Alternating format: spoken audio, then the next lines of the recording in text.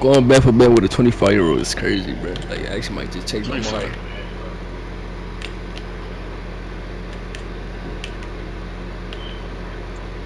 Oh my god, we need one more guys to do it. A 3v3 guys. Oh shit, this is